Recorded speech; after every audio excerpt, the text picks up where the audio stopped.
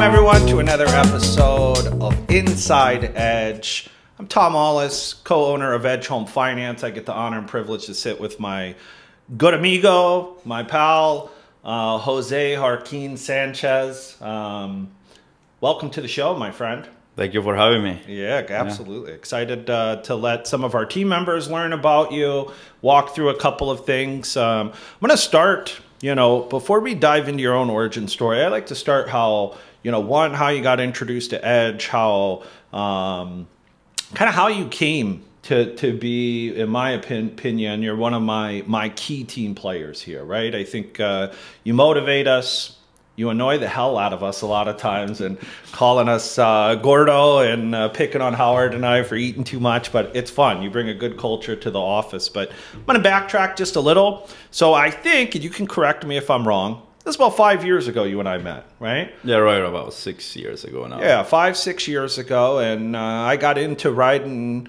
bikes with uh, a group of guys. And then uh, you and I met just from riding in that group, right? Yeah. And what were you doing at the time? I was uh, working on cars back then. Yeah, you know. Yeah, you were a manager of a uh, kind of a automotive shop. Automotive shop. Yeah. yeah. Mm-hmm. So it was kind of interesting when I met Jose.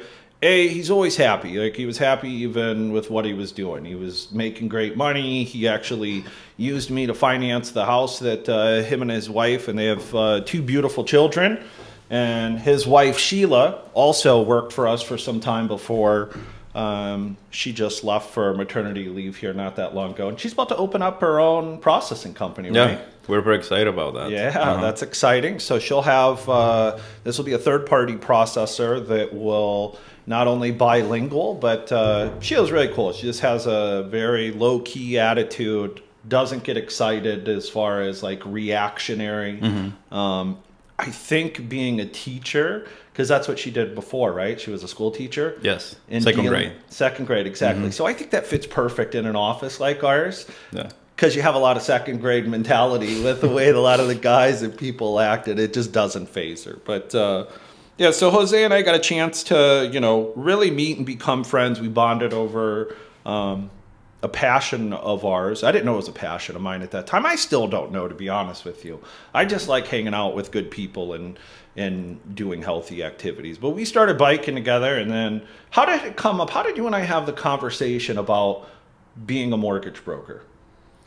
I don't really remember because uh, when I met you, I didn't know what anybody did. You know, yeah. it was like I was introduced to this bunch of people like through bikes, and like I didn't know what uh, what to expect on yep. uh, on what you guys were doing. But, yep. Uh, I think uh, I think I met you like six years ago on like. Um, actually, the first time we uh, talked was uh, six years ago in like Tour de Tonka, I think. Yes, yeah, I think you're right. It was like at the 80 mile mark.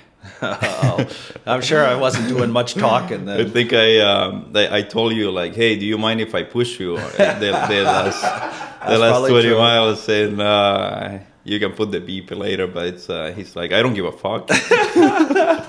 that's probably spot on. It happens, though, but it's but you know that's that's biking. You stop for two three weeks and you're you know you, you lose it. But I remember just kind of uh, you know when I met you, you have an infectious spirit, right? You're always like you go out of your way to show people uh, that you care right? That you yeah. you do it for your family, you do it for coworkers, even simple things, right? Like I don't tell you this enough because normally I'm busy working and so are you, but like simple things, like hey, there's dirty dishes, like you don't you're not one of those people to say hey you guys didn't do your damn because I know a lot of people get frustrated with it. You're one of the guys that just hop in, you don't look for recognition, you bust your ass.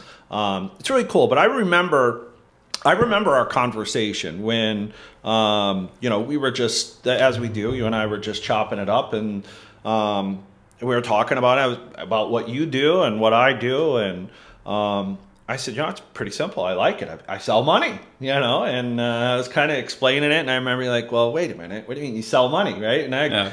got into the story of, well, you know, when people buy houses, they have to have – they they have to have money for it. So we broker money, and it's pretty good living, right? You get a chance to help people. Uh, uh, you know, the, to me, that's still one of the biggest joys for me is when, and I know it is for you too, because I've seen how hard you work on some of these uh, Tahoe loans, as I like to refer to them, sixty, seventy thousand dollar loan. But it doesn't matter, right? I think right from the beginning you got it to where like money isn't necessarily a motivator for you success is and i think that's what you and i share a lot in common to where money is the byproduct of success like of course we want to make more money but I don't think you're showing up every day and trying to get better to make a paycheck, right? And I can't. That's something I can't train, right? It's something I can't teach people. So um, I didn't know you were going to be that way. I was thankful for it, um, but I remember like, okay, well, hey, if you want to give it a shot, here's what you got to do, and, and I laid it out.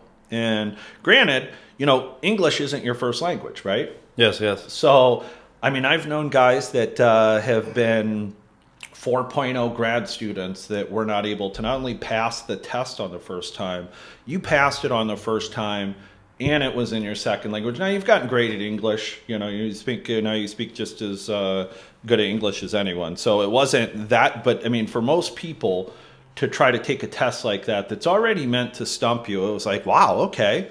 Um, which is only the first part of this industry, right? Like, okay, you're smart enough to, to pass the test, great, right? Then the real work starts to come in. Like I told you, once you pass that, that's then you come into the real world, right? Because do you remember half of the stuff that you learned in that like there was none of it really relates to real world, in my opinion. Like yeah. you, even a lot of the you know, oh, the max DTIs are 43%. Like, no, Jose, that works at 55, 56%. Um, but it was cool. So um, that's kind of how we met. You passed the test. Uh, I said, well, great. Here's the deal. Let's give it a shot. You know, I'm gonna uh, give you enough of a leeway just to stay broke because you were already making decent money. I mean, it wasn't. Uh, I mean, you bought a beautiful house in Minnetonka Hopkins area. Your wife was working, um, but you bet on yourself, right? I mean, you made less money for probably the first year. Even now, you're still at the point where you're you're climbing, right? But I mean, you've made. How long have you been here now? Three I've been years? here two years now. Two years, yeah. yeah. Mm-hmm. I mean, if you look at your progression, you know, as it I make more money than ever before. You know, even like. Uh, with not making that much money in comparison to uh, people who make a, a, lot of money here. Yeah, but, uh, I mean they do, but you you bet on yourself to, and you made less to start off, right? Like everybody does. You're on a hundred percent commission field. Yeah. And then it started to catch wave, and you've been uh, you've been doing amazing. Now we'll get into that here in a little bit. I always like to at least get an origin story, right? Um, origin story is like where are you from, right? I mean, not, no, nobody knows. We always joke and say you're from uh, Honduras. Yeah, Honduras, or uh, we always. It's the one thing I'll say that I love about the Latin culture is the more they pick on you, it means that they like you. Like it's not many. He calls me gordo all the time, which means fat for those that don't know what that means in Spanish. And uh, but it's out of fun, right? Like that's just. Uh, I would say for me, I have a lot of Latino friends, and that's just how it goes. Like it's not meant to be mean, and I like that. It's not a sensitive aspect. But uh, give me your origin story. Where did you grow up? Um, tell me, tell me a little bit about uh, the beginning of Jose. Yeah, yeah. I grew up uh, in Nicaragua. I was born there. You know, um, until I was 20, I didn't know anything about like uh, English. You know, so mm-hmm. I didn't. Uh, I didn't speak much. Yep. Actually, I I, I was telling Jake that um, how I thought uh, "I love you" was pronounced was "I love you, you." Yeah. You know, like I thought love was pronounced like love you. Yeah. Because uh, people would say like the same um, in, in one word, you know? Yeah but then uh, I was like, um, I think that's where all started. You know, like that's how I got here. Like I was in Central Park, uh, if you can imagine. It's like a small, smaller town, and then like there's Central Park, and everybody goes there, you know, to hang out. And there was this neighbor talking to this Canadian, and he was just going at it, talking like speaking English. So I was like, huh. I want to speak English too. Yeah. You know, and like from there, like, um, like I, I always like to sacrifice, you know, for the greater good. So I like all the money that I had at the time. I, I went and spent it in like going to to school, you know, to learn English. For I think I went I went there for seven months. Really, at the age of 20 mm-hmm. So it wasn't like you learned it growing up. So no. you decided at twenty to. All right, want to hit pause there for a second because the one thing I don't know, like high school, right? I don't know if same here. Like, were you in sports? Were you? I know you've told me a lot how you took care of your family, right? Like you you you still help your family, right? In any yes. way you can. But you were telling me the other day how you you know you wired your mom's house at 13 because you're redoing some stuff at your house. I'm like, wow, I wish I could do that. But school was there? Tell me how that like what was high school like for you? High school, I think I was a troublemaker mm-hmm. uh, at the beginning. You know, like the first years, and then. Uh, and then right at the end i like it happens like i think every time like i hit, i need to hit a spot where like i get excited yes. and then i go you know like so I, sports I, anything in high school or just working and having fun i was um i was boxing from like 13 to okay. 18 probably and i did a little bit of running yeah but i was never like in like team team sports, sports like yeah. um like doing like football or yeah, soccer yeah. boxing is like a great i knew you were i knew you had to do something so boxing good yeah so um, i think like in the last two years i, I was like huh I, I need to do a little better. Yeah. And then i just like started like showing up for classes and like just like getting straight a's um, but still i was like the troublemaker so the teachers were like having this like issue with me like giving so much trouble but at the end like doing well in, in school yeah. you know? Um, yeah that, that was cool for me like um, like I said, I, I need to hit a spot where I, I get excited and then I go and then I, I, I have good results. So, any brothers or sisters in high school with you? Uh, grade school? Like, uh, how close were your siblings? We're four years apart. So, my sister is uh, 25. Okay. And my brother is 21. So, she's right four now. years older than you? No, four years younger. Yeah. that make you 21, sucker. That's what I was asking. Uh, just kidding. Yeah. So, brother and a sister, both four years, uh, four years apart. Good. Yeah. Um, all right, so at 20, you pick up English, you start uh, start learning it, you pay for the courses.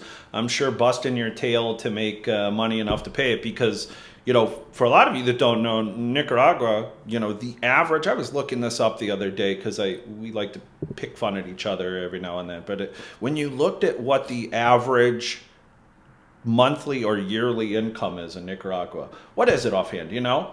I think it's about, I want to say 200 to 300 dollars a month so that makes it uh, 3600 yeah. bucks yeah so a year yeah when i was looking at uh, looking at that i'm like wow and a lot of those a lot of the people from nicaragua even travel to other like where was it that i went to where they travel in costa rica yes mm-hmm. yeah they go to costa rica and uh, work just work their tail off for 300 bucks a month right? And yeah. you know the one thing that i think that that does for um, people like you and i and it's people like you and i as i grew up as well without uh, i never knew i didn't have things. I felt like i had everything i needed right? I could i could ride my bike i could play i could have fun.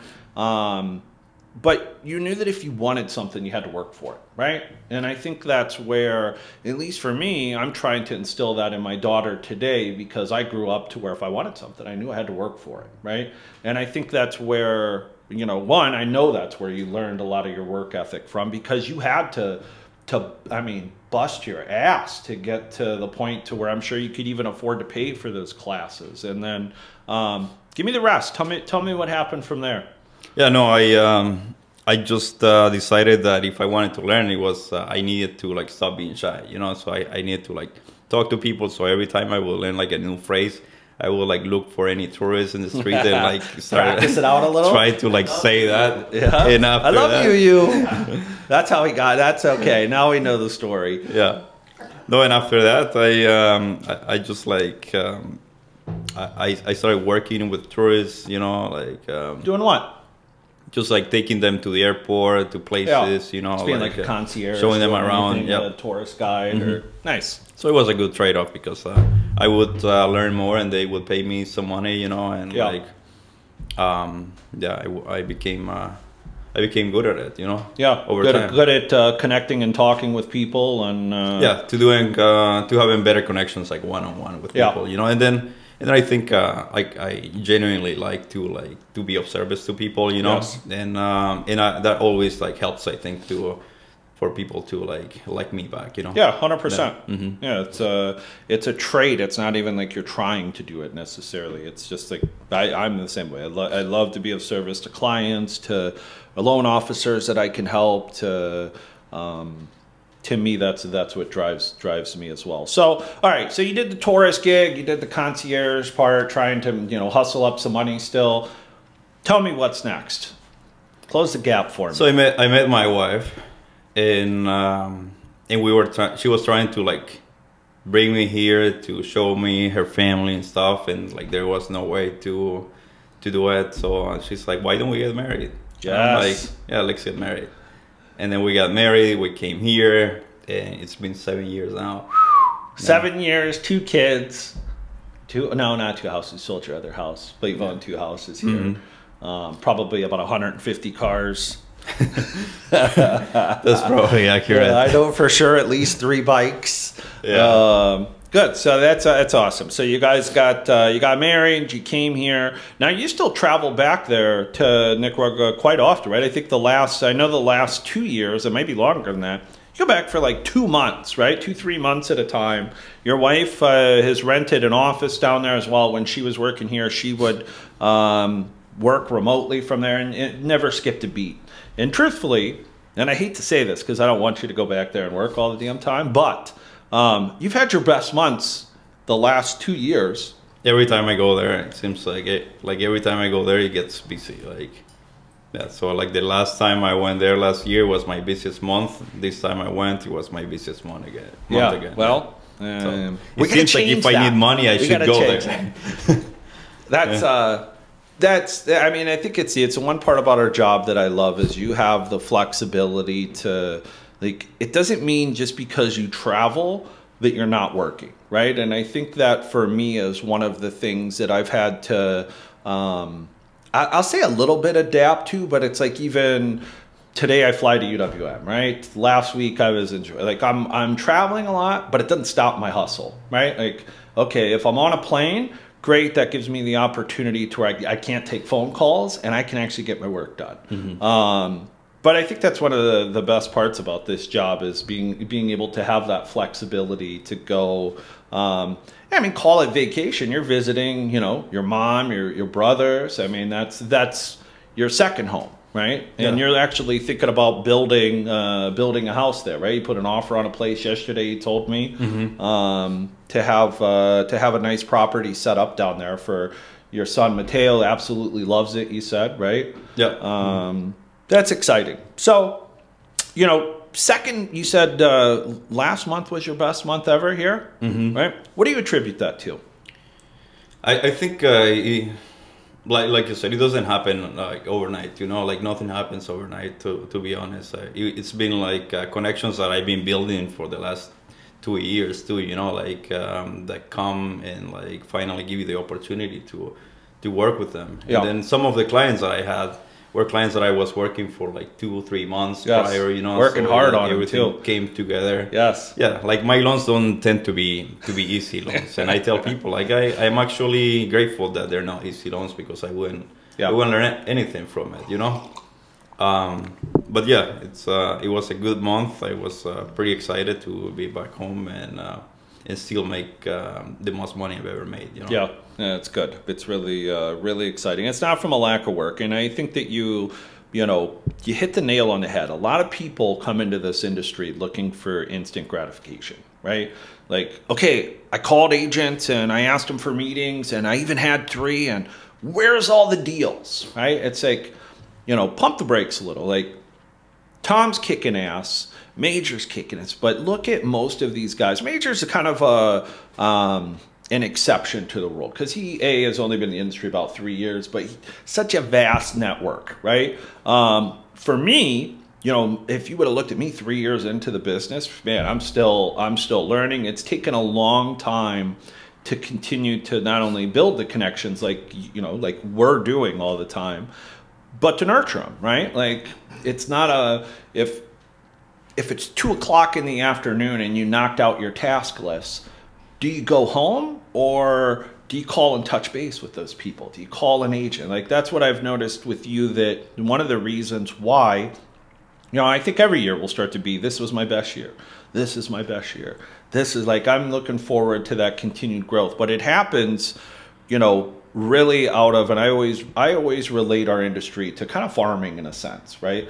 Like I cannot plant a seed today and expect it to, to bear fruit and eat it that day, right? It takes time. You got to water it. You have to um, make sure the bugs don't get it, the trigger leads, right? Like I call everything like I relate it to that, to where um, it takes time, and you're still, you know, what would you say is one of your best activities, so to speak, for networking, for me- meeting people in order to to get business? I think one on one works best for me. You know, like if I can. Um, and, and the, you've touched uh, on this before. It's like people either like you or they or they don't. Yeah. So it's like if you're thinking about oh, okay, I'm gonna be liked by everybody. Like I'm gonna make ten calls today and they're all gonna like me. That's, yeah. That's not true. You know. Not true at all. Um, so I think um, having one-on-one um, uh, connection is uh, what has worked for me. Like I talk to agents and and then they don't just like me because I do a good job, but they, they like my personality. Yeah, like personality. You, you know, know, you're a hustler, you're a hustler, yeah. and they get a chance to actually see, like you said, I like to be of service. It's one thing to say it, but you need to you need to meet somebody to see it. So I really like that, and I hope I hope that you know you guys are hearing what he's saying when he's going to a lot of these meetings with real estate agents or other people to try to connect. It's not always going there to like, oh, I'm trying to get a deal it's really, hey, do you like me and do I like you, right? Yeah. Because it is a two way street. I guarantee you, you've met some people, whether it's an agent or another loan officer, that you know it just doesn't blend, right? Yeah. Like the natural chemistry of like respect, the friendliness, the way that you treat people. Like to me, those are the kinds of people I like to surround myself with that treat people how I try to, how I've treated people and how I still treat people, right? Yeah. And it's easier to build that connection. Once you have that connection, then you can start like having conversations about, you know, hey, you know, what have you been struggling with? You know, yeah. sometimes that might be business, sometimes it might be personal too, right? I mean, you've helped. Uh, um, I joke about it and saying you pick on Howard and I, but we're always driving to to be better versions of ourselves, right? Yeah. Like this morning, you're at the gym at 5 a.m. You're giving me shit about it. Where, where, where, you, you know, um, but that's good, right? I mean, we're really trying to. It's not like um, I don't know. To me, like we're always trying to be a better version of ourselves than what we were yesterday, right? Yeah. Um, all right. So now we're to today. Okay. So you've got uh, you had your, your, your one of your best months in your career last month. Um, My where, best one. Huh? My best one. No, one of the best, like the best. Yeah, but I said this year. Yeah. So notice that to to me, you're not done. Like no. we're just coming into the prime season. So last month was the best month so far this year. Might have been of all time too, but that's going to get beat here soon. I think June, July, you got a you got a monster coming, especially now that you're back in in town working again. It doesn't seem to work that that way, but yeah. Do you know why? and this is my opinion, and you touched on it. You're not getting the instant uh, gratification, like the the work right away. Those are from the relationships that you put in and then they come. Yeah. You just happen to be on vacation, you know. Yeah, yeah but if I can touch back to uh, whether uh, people like you or not, I like to like work with people that like me because of my personality and who I am. Because you're always gonna make mistakes. Yes. You know, and then like uh, those people are not gonna be looking for an excuse to like dump you right away. They're gonna be forgiven and they're gonna be understandable. So they're gonna be a team player to you. So I think those are the connections that you want. Not only like they like they have big numbers, but they are people you can count on too. You know? Yeah, yeah. That's uh, that's wicked smart. I've never, I've, uh, I could say I've never really thought about it that way, but you're hundred percent correct. I can say for my one of my best referral partners, like we're friends, right? Like, like you said, I've screwed up before. Yeah, and if you screw up, it's like, hey, you own it. You explain, hey, this is how I why I thought that I could use the, you know, both jobs, and I, he had two jobs for two years, but there was, you know, something to where you made a mistake. That's really good. So I uh, I think that's another just golden nugget. Um, all right, I always like to wrap up with a question of, you know, where do you see yourself in this industry in five years? I don't think I, see myself quite at your level, but I think uh, I see myself uh, helping a lot of people in five years. You know. Yeah. Um, um, I want to get more into. I want to expand my net, my the, the amount of people that I know uh, in Minnesota. I uh, I have a lot of respect for and the character that most of people have in Minnesota. And I was talking to somebody about most of people I meet. They genuinely want to help yeah. They want to help me succeed. They they're they're like genuinely and they're like, oh no, that's just Minnesota nice. I'm like, no. The, the people I meet, I know they, they will like come to my aid if I if I need to. So yeah. I don't know if you attract those kind of people because you're focused on on those um, kind of people, but every every person that I meet is like a, a, good person that I know I can count on. So it just keeps happening slower. Yep. But in five years, I think uh, the amount of that group of people is going to be big. Your network's going to be, be bigger. Mm-hmm. Yeah. And it's going to be solid too, you know. Yeah. Yeah. So I, I see myself uh, doing pretty well and uh, and being able being able to help people not just in mortgages but uh, in other situations, you know, where they need like uh, either uh, financial help or or uh, investment help, investment or help, anything yeah. from. Mm-hmm. I mean, I've seen you do so many weird things just, for people. Because I like to help, you know. I, I feel like money makes it easier to like, okay, I'm gonna give you a chance to like better yourself. Yeah, you know, and I, I like that a lot. So I see myself helping more people, and that's what I I think will That's awesome. Yeah. Well, Jose, I appreciate everything you uh, you do for us here, the morale you bring, the you know your infectious energy to continue for all of us to get better uh, I look forward to being there with you the next five years and probably the next 25 years as far as, as working goes. But uh, thank you for being on the show. Thank you all of us for joining um, this episode of Inside Edge. Tune back in next week. We'll keep coming at you live with some of the best around Inside Edge. Have a great day.